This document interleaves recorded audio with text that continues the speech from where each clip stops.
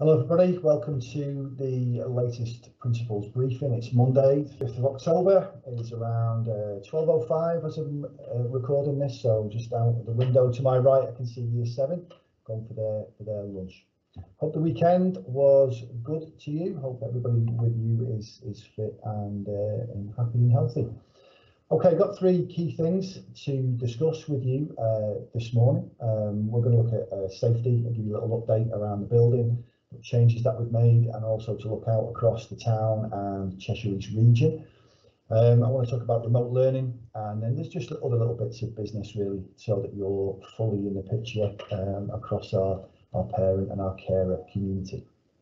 I think we should start though um, with thanks really, thanks to the children and thanks to you families for your support during this period. We're now in week six. We've got three full school weeks to go before the October half term break. Uh, and I think what we're starting to see is a rhythm to our days emerging, getting a sense now that the, children are used to the arrangements that we've put in uh, and are generally following our routines really, really well. So very much an adapted building, an adapted school day, but, but a lot of positivity uh, across uh, across the school and uh, the academy continuously uh, encouraging our children about good routines, good learning routines, good organisation uh, and, and good relationships. And that, and that routines, organisation, relationships thing is, is true also of our, of our teachers. So keeping things simple, keeping communication clear uh, and just working on our basics is the best we can do at the moment and it's really helping us to move forward. All right, let's have a, a very quick update on, on safety.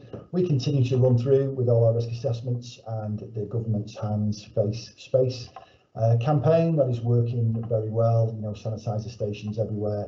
Uh, and I'm seeing, you know, nearly complete adherence across students to the, the, the safety systems that we've that we've got in. So they will they will continue at the moment as they are. We assess them um, weekly uh, and obviously if anything changes nationally or around us, then we, then we can adapt those as well. Uh, you may or may not be aware, last week there was um, there was a spike in transmission rates across Cheshire as a whole. So uh, Cheshire East and Cheshire West are now on, I think, what's being framed as a, a, a bit of a warning list in terms of transmission. So we'll we'll watch that carefully. Uh, and we'll see if any information comes through with uh, certainly in terms of whether any local local restrictions are coming our way, as we've seen in many of the regions uh, around us and many of the areas around us.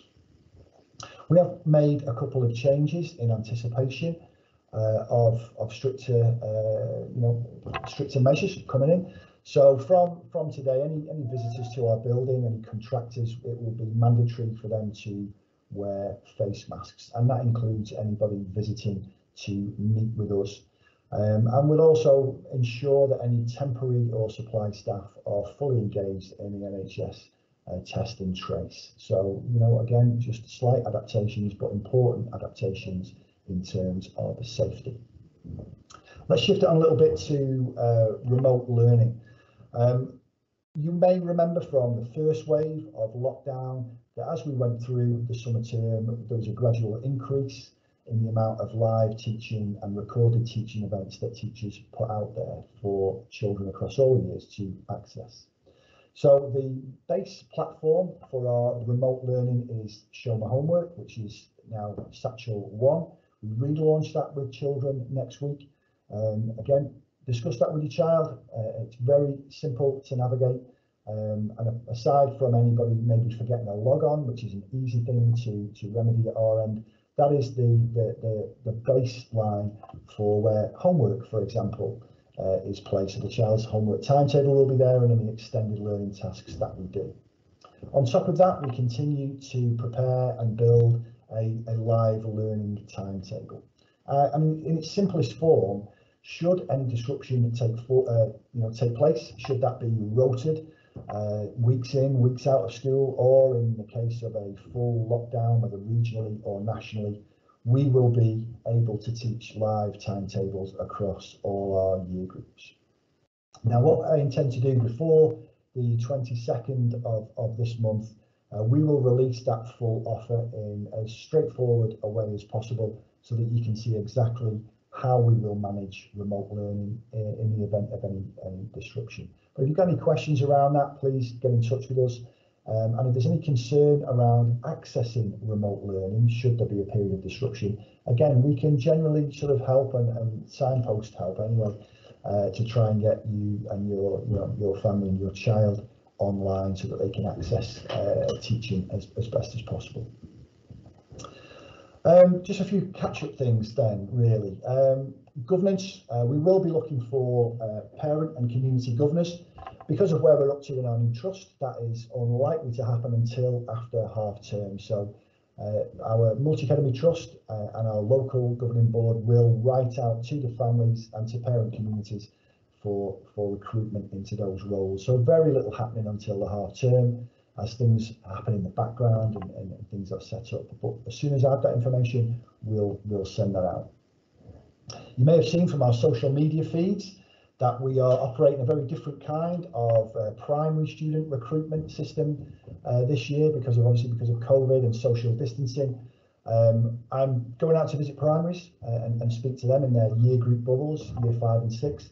But we are spending some of our evenings between now and the end of October taking socially distanced uh, meetings between four and seven in the evening. 30 minute uh, appointments, maximum six from one household usual sort of uh, hygiene uh, and face covering restrictions, just to give people a flavour of, of what it is that we offer. So it's very different. It's an empty space. There are no children uh, to, to speak to and no, no necessarily no work to, to look at as the normal opening evening would be, but still a, a, good conversation. So our flyers are out there on, on social media. Uh, and if you see or hear of anybody who's considering what their next steps are, uh, I think it's worth pointing them um, in our direction just so they can come and have a conversation and, and have a look around. And finally, new website uh, was due to go online uh, Friday the 2nd. We're just tweaking a little bit of content. I expect that to be live on uh, Wednesday, Wednesday, Thursday this week. And so we'll again send a link out, uh, put it on our platforms, and you can have a look at the, the new website. And now we're presenting all our statutory information and promoting our, our, our children's work. So uh, that'll be with you this week.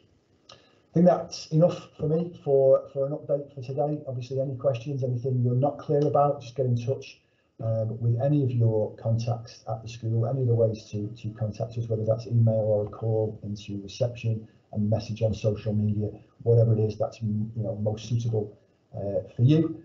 Uh, and we'll, we'll look to help you and solve any problems that you might have. I'm going to leave it there. I'm off to Hungerford, the fabulous Hungerford now, to speak to their year five and sixes. So very much looking forward to, to that. Have a good day. Uh, hopefully speak to you again in the next week or so. Uh, look out for our celebration, uh, Fab Fridays, and, uh, and, what we post there with the children across the school um, on social media. That's been that's been going down really well. Goodbye from from school. Speak to you soon. Take care, bye.